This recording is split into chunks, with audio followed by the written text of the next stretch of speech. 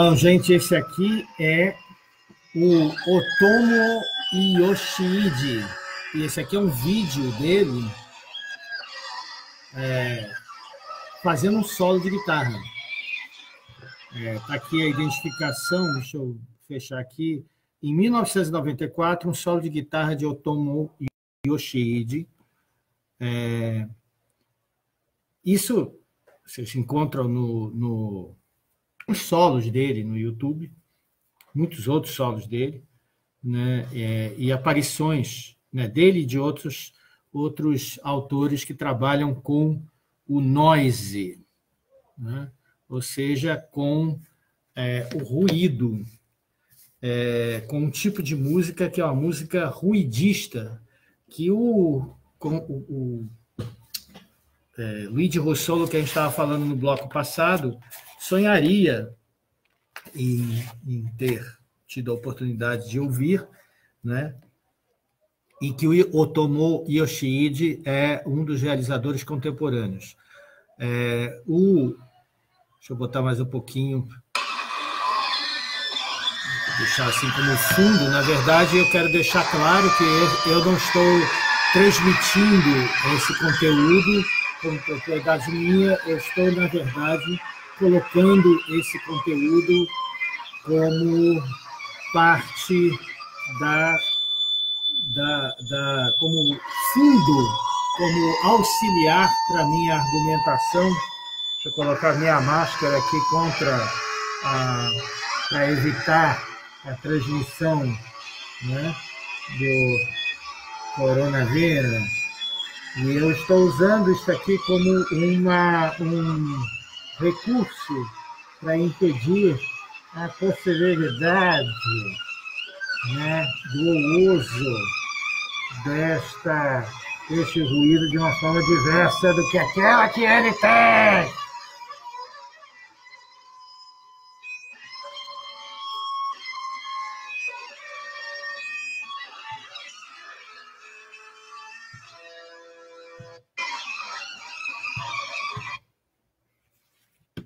Otomo Yoshi. Eu considero esse. Ele me faz querer fazer coisas muito doidas. Eu considero Otomo Yoshide um dos grandes gênios do século XXI já. É, a gente depois vai falar de outros aqui. Assim, é, na, na, minha programação da Oficina de Movimento, originalmente eu tinha pensado em vários dessas, dessas coisas que a gente poderia tratar como excentricidades sonoras e que, na verdade, é, são experimentos muito importantes e fundamentais. Eu também estou lembrando agora aqui, eu vou deixar para o terceiro bloco isso, eu tinha, quando eu escrevi, eu tentei escrever um artigo que foi base para vários outros artigos e depois até para o meu projeto atual de pesquisa, é, o problema é achar isso, mas acho que eu sei onde está é, eu reproduzi, é, infelizmente eu não tenho isso mais no computador, mas eu reproduzi uma linha do tempo, que entretanto deve ter ainda na internet, porque esses gráficos têm sempre disponíveis aí, é, da história do, do, da, da, música noise, né? Os, os, antecedentes da música noise. E aí tem alguns, algumas figuras fundamentais, dentre elas o próprio John Cage, que está aí citado nisso. Bom, de John Cage, é, aí a gente falou do ruído, e aí a gente pode também é, saltar do ruído para o silêncio, né? E então é, tentar experimentar também essa essa essa é, 95 experimentar também essa possibilidade né, do silêncio e do som. Deixa eu achar aqui. Ah, mas isso não está aqui exatamente. Bom, no, na, eu, eu posso, posso levantar aqui e pegar, não sei onde está, mas eu vou, de qualquer maneira, é, pegar um trechinho disso aqui e um, um trechinho disso aqui também. Eu queria ler para vocês algumas das coisas do John Cage que são ah, como esse esse aqui da do futuro da música, esse manifesto do John Cage, que são muito interessantes para a gente já se aproximar da, daquilo que o John Cage estava fazendo. Quero falar uma coisinha sobre a sequência desses acontecimentos pós-futurismo. É, é, depois do, do, do, futurismo russo, do futurismo italiano e dessa exaltação do ruído através de Luigi Russolo, você também tem no futurismo russo a aparição dos poetas Zaun. É, esse termo Zaun vem de uma expressão em russo que é Zauniki Yazika, que é a língua Zaun, seria a língua Zaun, que é, também seria a mesma coisa que a língua transmental, que é, na verdade, a, aquilo que a gente conhece hoje como poesia sonorista. Né? Praticantes dessa língua transmental foram principalmente o poeta russo Alexei Krutchonik e o outro poeta Velimir Klebnikov. Esse tão difícil, tão complexo de entender que até hoje as pessoas estão batendo cabeça no em torno do trabalho do, do Velimir Klebnikov, um poeta ainda pouco lido, extremamente erudito, complexo, difícil, e que escreveu muitos poemas sonoristas. Eu quero só chamar atenção para uma efeméride, que eu não vou me alongar nisso, isso dá é, para fazer uma outra live, um, aliás, horas e horas para falar só dessa coisa né, da, da poesia sonorista e de tudo isso. Uma hora dessa eu vou fazer. Mas uh, eles fizeram uma ópera, uma ópera sem cantores, uma ópera na verdade, poesia falada e recitada nessa usando essa linguagem da poesia Zaun, é, que é essa língua transmental, é, que é a ópera Vitória sobre o Sol, cujo enredo é engraçadíssimo, porque é um os seres humanos resolvem acabar com o racionalismo iluminista, então, como iluminismo é, é representado pela figura solar, né, eles resolvem apagar o Sol. Então acontece um eclipse, que é o apagamento do Sol. Bom, é, essa essa ópera Vitória sobre o Sol, ela é toda em linguagem Zaun porque os personagens falam uma linguagem toda atravessada de trocadilhos, de frases sem sentido, num certo sentido antecipando o Dada, no outro sentido antecipando o surrealismo. E, na verdade, assim, é, o que é a busca do, da linguagem Zaun transmental, é buscar aqueles fonemas que existem em todas as línguas, que são aquela sonoridade básica da língua. Né? Toda língua e os sotaques de cada língua têm uma sonoridade básica, que é uma pauta acentual que está antes, antes, está colocada antes da própria articulação em palavras. Que a articulação em palavras executa a partir dessa pauta acentual. E eles tentam retroceder a essa origem profunda, que para nós, a princípio, soa como um ruído somente. Né? É, depois do, do, dos futuristas russos, que fizeram isso em, nos idos de 1914, há, uma aproximação que a gente pode fazer entre Luigi Russolo, inclusive, e o grande compositor Igor Stravinsky. Né? Esse, por sua vez, é, introdutor na música moderna da polirritmia, quer dizer, não foi o introdutor, digamos que ele foi o principal usuário disso na, na, na modernidade, e, e, de outros elementos que soavam como ruído na época da, da na época em que isso foi feito e que causou muito escândalo quando foi apresentada mais ou menos na mesma época, 1914, 1915, a sagração da primavera em, em, Paris. Enquanto em Paris isso causava escândalo, a vitória sobre o sol, com coisas bem mais loucas do que a sagração da primavera, não causou nenhum escândalo na Rússia, porque a Rússia já vivia um processo de transformação profunda, né? e, portanto, era um outro tipo de sensibilidade, o que leva alguns autores, incluindo eu mesmo, dizer que a Rússia estava muito mais avançada nesse momento do que a própria França. Muito bem, é, depois, isso avança e vai ter outros experimentos que vão se desdobrar no Dada alemão, através principalmente de uma figura como Kurt Schwitters, que vai fazer uma sonata inteira usando palavras que ele chamava, ele chamou de usonato, palavras que são é, seriam as, o pré-silábico, pré-som da língua alemã. É, também isso daria muito pano para manga para falar aqui agora, isso durante muitos anos, então não vou me meter a falar disso agora, senão eu paro do que eu estou fazendo. Depois, isso vem na sequência a é, ribombar, né? estou tentando usar verbos que estão no campo semântico da barulheira. Aí. Vem ribombar na Bauhaus, na escola, a famosa escola alemã de, de arte e arquitetura, onde se fizeram muitos experimentos também nessa área de, de audiovisual, com som e imagem e com sonoridades diversas, e também, principalmente, na, na música do Edgar Varese, né? compositor que também começou a incorporar essa questão dos ruídos, já aproveitando um pouco daquilo que vem do, do, do Luigi Russolo. E, por fim, isso eu falei da Bauhaus porque depois, com a ascensão nazista, os, e isso era considerado música degenerada, naturalmente, pelos nazistas, eles vão debandar e vão se espalhar pelo mundo.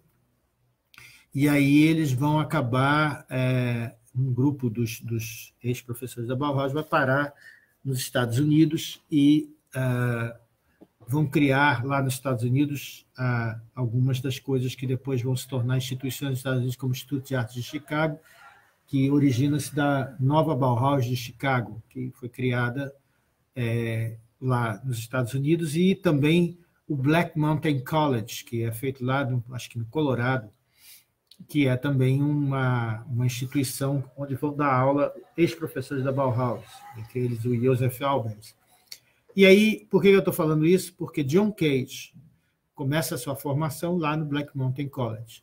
E é John Cage que vai fazer o que se considera hoje em dia o primeiro happening da história, que é, para alguns autores, que é em 1952 o evento sem título, que ele faz lá no Black Mountain College, que é um concerto em que os músicos tocam no meio da plateia. Se cria uma plateia muito parecida com a plateia que o Smetak imaginou, aquela plateia circular, só que não é circular, é uma plateia de quatro triângulos. O Smetak imagina dois triângulos com bordas circulares dentro de uma abóbada. Né?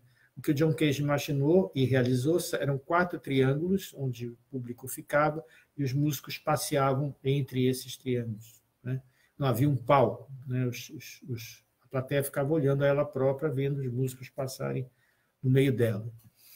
E essa, essa disposição da plateia, da, da, da música, se tornou uma prática constante, de tal sorte que é, outros artistas fizeram uso disso, dentre eles, para voltar à Alemanha, o, um dos caras, um dos nomes mais importantes da música moderna alemã, isso já na segunda metade do século XX, que é um nome quase impronunciável, Karl Heinz Stockhausen, né, que virou uma figura pop até. Muito, quando eu era adolescente, o Stockhausen era um negócio que a gente ouvia junto com Kraftwerk, com outras coisas, com, com bandas progressivas e tal.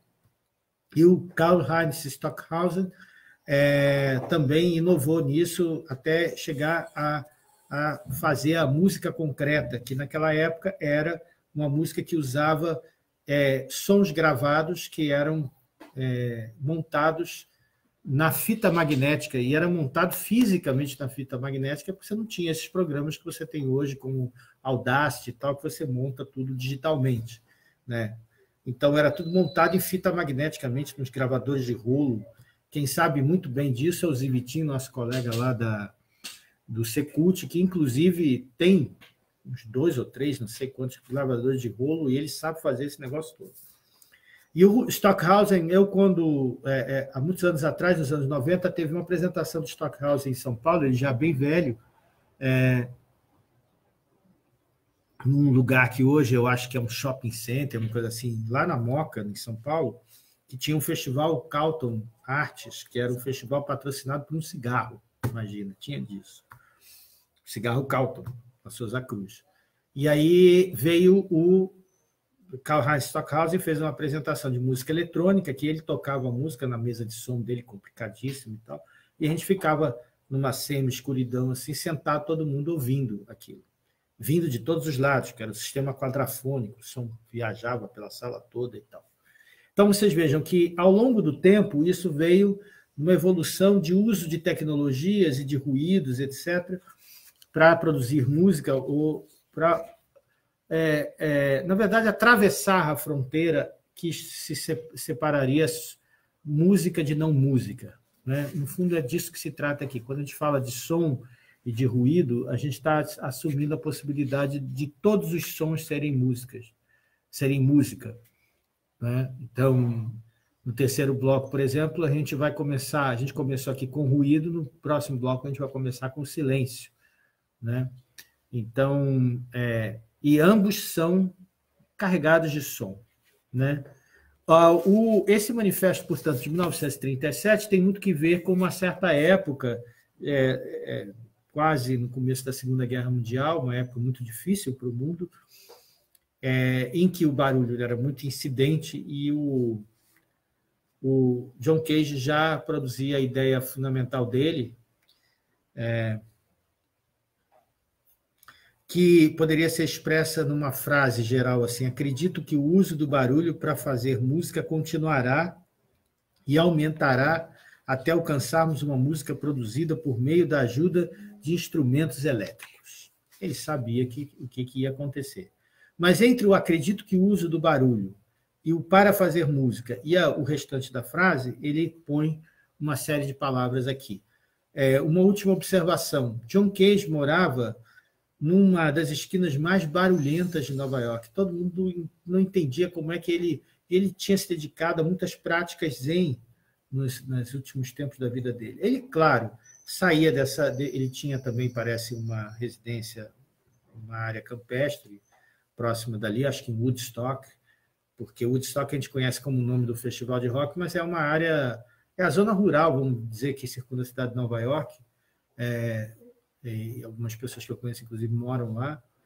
E, e, e, e, ele tinha, parece que uma casa lá, ele era, entre outras coisas, ele era especializado em cogumelos. Ele dizem que ele conhece, ele, ele era extremo conhecedor, tem até o nome dessa, dessa especialidade né, botânica que é do conhecimento de cogumelos. Ele, ele cozinhava cogumelos de forma excepcional. Quem, quem teve a oportunidade de comer os cogumelos que ele cozinhava, dizia que ele era um, um cozinheiro incrível, fazia cogumelos das formas mais incríveis. E, ao mesmo tempo, também, ele podia, então, sair desse, dessa, dessa, dessa esquina mais barulhenta, mas ele morava numa das esquinas mais barulhentas de Nova York, e ele dizia, não, não me incomoda, as pessoas diziam, você não fica incomodado com esse barulho à volta? Ele dizia assim, não, não me incomoda não, isso para mim tudo é música. Eu fico ouvindo isso aqui, fico prestando atenção, isso para mim é inspirador. Então ele diz aqui no futuro da música, Acredito que o uso do barulho, onde quer que estejamos, o que mais ouvimos é barulho. Quando o ignoramos, ele nos perturba. Quando o escutamos, achamos fascinante. O som de um caminhão a 50 milhas por hora, o som estático entre estações de rádio, chuva, queremos capturar e controlar esses sons, não para usá-los como efeitos sonoros, mas como instrumentos musicais. Todo estúdio de filmagem tem um acervo de efeitos sonoros gravado em filme. É, nota de rodapé. É, todo vídeo que você faz hoje em dia, você pode pesquisar uma biblioteca de sons autorizados para você usar e de trilhas sonoras. Fecha a nota de rodapé. Com o filme fonográfico, agora é possível controlar a amplitude e frequência de qualquer um desses sons e dá-los ritmos dentro ou além do alcance da imaginação.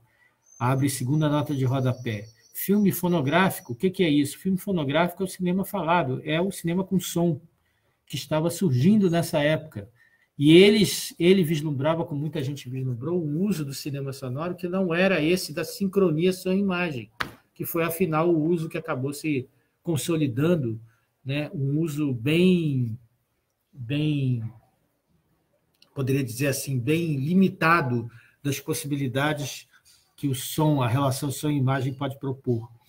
Com o filme fonográfico, agora é possível controlar a amplitude e frequência de qualquer um desses sons e dá-los ritmos dentro ou além do alcance da imaginação. Dados quatro filmes fonográficos, podemos compor e tocar um quarteto para motor explosivo, vento, batida de coração e deslizamento de terra. Terceira nota de rodapé, se vocês quiserem ver uma experiência disso com três, não com quatro sons, vocês devem procurar a obra é, fenomenal do. Eu vou esquecer o nome dele na hora de falar o nome dele, quer ver? É, não, não vou esquecer, não, do Marclay. Christian Marclay. Christian Marclay é um autor que hoje vive nos Estados Unidos, um artista é, que vive hoje nos Estados Unidos, mas que é, é, suíço de origem, nasceu na Suíça e foi é, e foi para os Estados Unidos. O Christian Marclay é um cara mais ou menos da minha geração, quer dizer, ele, ele era um pouco mais velho que eu, nos anos 80 tinha, começo dos 80 tinha 20, 21 anos, ele tinha um pouco mais. E ele desenvolveu uma série de trabalhos em que ele trabalha também com essa questão do ruído. Ele entra nessa linha aí também. É um artista visual, ele faz exposições, mas ele também é um músico. Um músico não músico. Ele toca, toca discos. E como se fosse um DJ. Muitas das coisas que ele fez, depois os DJs incorporaram. E o Christian Marclay tem um trabalho absolutamente lindo em que ele pega trechos de filmes eu vou falar de dois trabalhos dele. Um é esse, que é um tríptico. São três telas projetando trechos de filmes, que são trechos de musicais, onde tem ruídos e música. E aí ele vai combinando esses três trechos. É um negócio absolutamente deslumbrante. A primeira vez que eu vi isso na Cité de la Musique, lá em Paris, numa ocasião que eu tive lá, eu sentei e eu chorava copiosamente vendo isso. Por quê? porque é absoluto, é daquelas coisas que você inclusive chora e não sabe por quê. Porque é absolutamente fabulosa a combinação de cenas que acontece. Você conhece alguns desses filmes e você vê as cenas combinadas, não é é impossível você não ficar emocionado de ver as, as conexões que podem se estabelecer entre esses filmes, sobretudo porque ele escolheu muito bem, escolhe muito bem filmes que são filmes de toda os, da era mais esplendorosa do cinema americano, seja anos 30, quando, quando o, o domínio da técnica da sincronia som-imagem é, pelos americanos se torna é, ganha nível de excelência, né? Então é o auge de Hollywood e tal. Mas ele também põe filmes dos anos 50, dos anos 60, filmes de Hitchcock, não são, não são só filmes americanos, filmes franceses e assim por diante. Christian Marclay. É, tem no YouTube algumas coisas dele. Outro dia mesmo a gente estava aqui é, fuçando alguns dos documentários e filmes sobre Christian Marclay. Tem um trechinho dessa instalação que atualmente está na Tate Gallery, em Londres. É, depois eu revi essa instalação algumas vezes, mas o impacto inicial dela é absolutamente surpreendente. E há o outro trabalho que teve em São Paulo, inclusive, veio ao Brasil, teve em São Paulo, é, acho que não foi em nenhuma outra cidade brasileira, acho que foi só em São Paulo, é, que é o The Clock, é, o relógio, em que ele fez, ele reuniu um trabalho louco, louco, uma trabalheira louca, reuniu cenas é, em que aparece um relógio marcando uma hora e centenas de filmes, na verdade, uma quantidade X de filmes que pode percorrer 24 horas. Como é que a coisa funciona? Esse, essa sequência fica passando dentro de uma sala em exibição durante 24 horas. Você pode entrar e sair a hora que você quiser. A cada momento dessa sequência aparece uma cena marcando uma determinada hora. Então, ele pegou o dia, que é dividido em 24 horas, e arranjou uma cena para cada minuto de cada hora desse dia. Certo? Então, façam o cálculo dos minutos aí, vocês vão ver a quantidade de cenas que ele reuniu. São todos os minutos, acho que são três mil e tantos minutos, três mil e tantas cenas do cinema mundial, que ele, principalmente cinema americano, que ele recolheu e ele põe tudo isso na sequência. Então, ele conta o tempo do meio-dia à meia-noite, o tempo de um dia inteiro, de um ciclo solar inteiro, dentro de uma sala, né? Você pode, se você quiser, você pode ficar lá 24 horas assistindo. Você vai ver todas as horas descritas, todos os minutos descritos, cada um por uma cena de um filme. Né? E ele achou cenas de filmes também. E tem um outro que é só sobre telefones tocando em filmes. Então, ele fez uma coletânea de cenas em que o telefone toca. E assim por diante. Então, Dados quatro filmes fonográficos, podemos compor e tocar um quarteto para motor explosivo, vento, batida de coração e deslizamento de terra. É algo que é só o começo da história, né? O Christian Marclay levou isso adiante. Para fazer música, se a palavra música é sacralizada e reservada a instrumentos do século XVIII e XIX, podemos substituí-la por um termo mais significativo: organização do som. Nova nota de rodapé. A maior parte dos instrumentos que nós conhecemos são instrumentos efetivamente do século XVIII e XIX. Pensem bem, a gente tem um instrumento do século XX, dois instrumentos que se consolidaram no século XX, que são dos mais ruidosos: a guitarra elétrica e o, o a bateria. Eu não estou falando do baixo elétrico, porque é, essencialmente o baixo elétrico é só a eletrificação daquilo que já existe no baixo acústico mas não há modificação substancial, passo que a guitarra elétrica ela tem uma história em que a, o próprio, a própria execução da guitarra modifica substancialmente o som da guitarra acústica, ou seja, do violão. Não é? é e a bateria também é um instrumento que, na verdade, se junta todo no começo do século XX, ele é produto da junção de vários instrumentos e da necessidade de você ter um único é, executante que conseguisse executar é, vários instrumentos de percussão simultaneamente.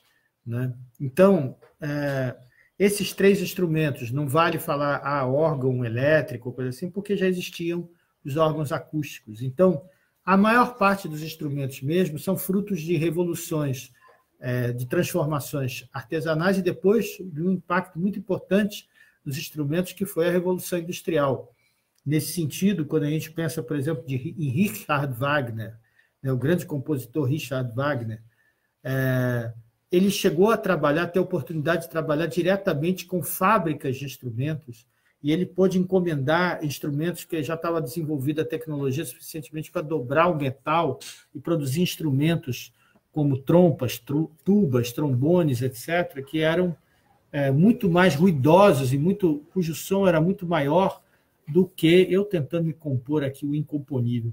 É, é, instrumentos com muito maior capacidade do que existia até então. Então, a orquestra, do, eu costumo dizer isso, que a orquestra do Wagner soava como uma banda heavy metal. Além do que, ele teve a oportunidade, já que ele era patrocinado por um príncipe da Baviera, que torrou toda a fortuna do reino nisso aí, o príncipe Ludwig, que era apaixonado pelo, pelo Richard Wagner e fazia o que ele queria, o príncipe Ludwig construiu lá Bayreuth, né, o teatro que até hoje acontece no Festival de Bayreuth, né, que é um teatro construído como uma grande caixa de som, uma caixa de reverberação, onde a orquestra, inclusive, nem aparece para o público, tem um, um expediente em que a orquestra fica dentro de um fosso, como todos os teatros de ópera, mas o público, na posição que ele está, ele não consegue ver a orquestra, então ele tem a sensação mesmo de que ele está assistindo aquilo que sonhava, que é um filme, apresentação cinematográfica comum que a gente conhece hoje. E que naquela época só era possível de fazer dessa forma. Então, o som é, produzido mecanicamente, acusticamente, da, da, da caixa de som que Wagner tinha, era um negócio estrondante comparado com toda a sonoridade dos instrumentos anteriores. Então, são é, evoluções dos instrumentos que ganham uma radicalidade a partir do século XX. Né? Então, a palavra música tem de ser dessacralizada. Ele diz aqui: se a palavra música é sacralizada e reservada a instrumentos do século XVIII e XIX, a gente pode substituir por um termo mais significativo, a organização do som. É o som no sentido mais amplo. Ah, para fazer música, acredito que o uso do barulho para fazer música continuará e aumentará até alcançarmos uma música produzida por meio da ajuda de instrumentos elétricos é, a maioria dos inventores de instrumentos elétricos tentou imitar instrumentos do século XVIII e XIX, assim como os primeiros projetistas de carros copiaram a carruagem. Isso é verdade, ele vai falar aqui ó, de alguns instrumentos como Nova Acorde, Solovox, né? É, e aí vai contrapor isso ao Teremin, né? que forneceu um instrumento com possibilidades genuinamente novas. Para quem não conhece o Teremin, pessoal aí, por exemplo, que deve conhecer um clipe do Pato Fu, que faz uma homenagem ao Teremin. O Teremin é, o, é um, um compositor russo que foi, inclusive, impedido de continuar as suas pesquisas, foi perseguido na Rússia, que construiu um instrumento que é uma caixa, na verdade, com duas antenas, e que pode ser tocado, é um instrumento elétrico, pode ser tocado com aproximação afastamento da mão. Ele é o, o pai dos sensores sonoros, né?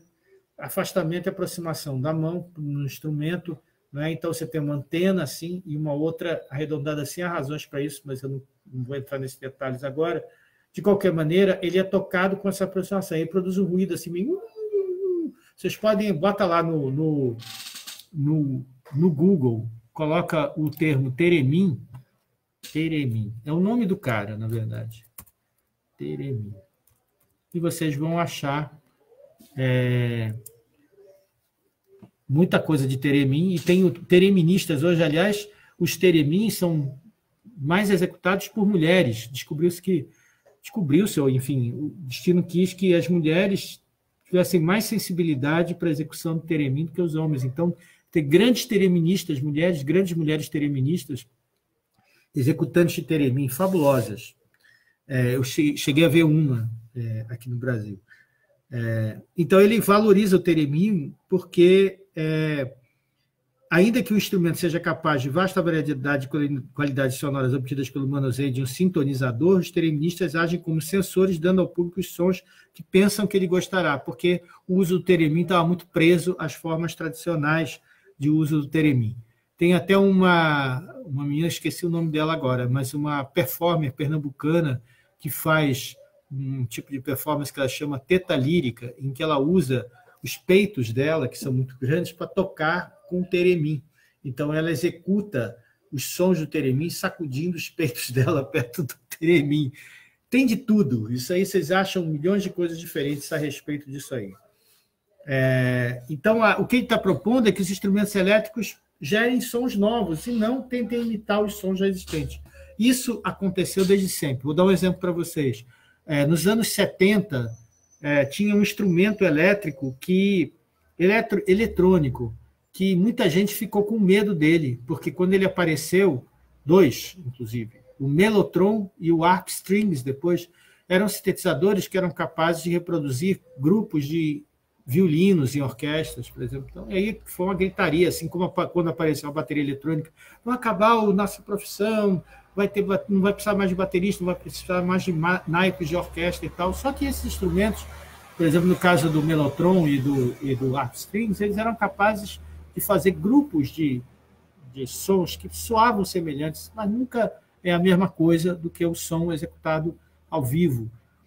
E com o tempo isso vai ficando claro, mas as pessoas se apavoram e, e, e ao mesmo tempo há um desejo, por outro lado, de muita gente de tentar reproduzir esse som, né? esse som, tentar se parecer com os instrumentos convencionais. Né? E é isso que ele chama a atenção, que não faz sentido o que disponibilizará para fins musicais todo e qualquer som que pode ser ouvido. É isso que a gente está vendo hoje.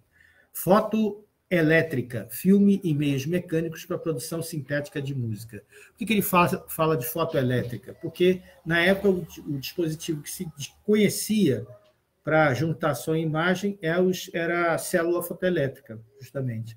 É, o cinema é, analógico ele é uma película de filmes com 20, que roda 24 quadros por segundo, e na lateral dessa película tem uns, umas coisas que parecem uma, um espectrograma de som e que, na verdade, é uma faixa de, de é, impressa com uma codificação que é decodificada por uma célula fotoelétrica e aquilo é transformado em som.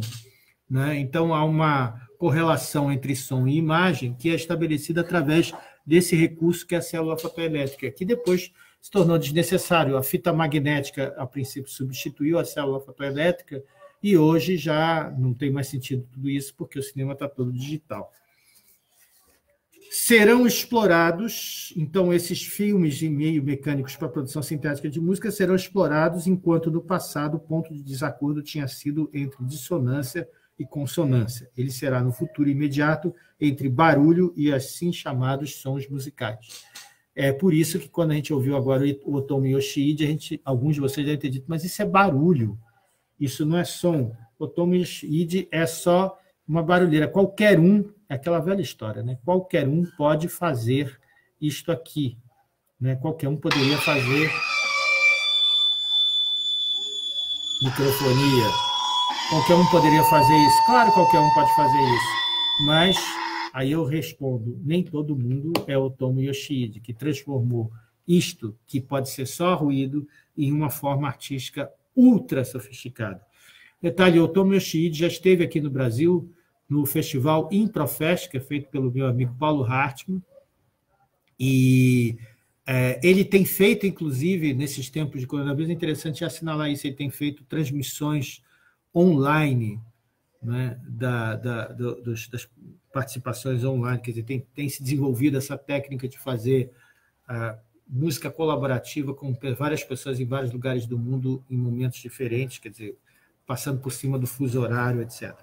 Os atuais métodos de escrita musical, principalmente os que empregam harmonia e suas referências em passos particulares no campo musical, serão inadequados para o compositor que será munido do campo de som inteiro.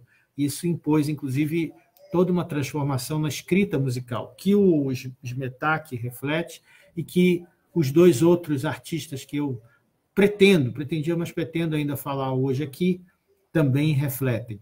É, a gente já chegou de novo, já ultrapassamos em seis minutos novamente o, o, tempo do bloco, então a gente vai ter que interromper aqui e eu vou voltar. Esse aqui eu só quis dar um gostinho para vocês do, do, do, futuro da música, do John Cage, o, o, o texto do John Cage. Uh, e aí agora a gente vai voltar no próximo bloco com o silêncio. Então, não deixem de ouvir o silêncio no próximo bloco, ok? Até já.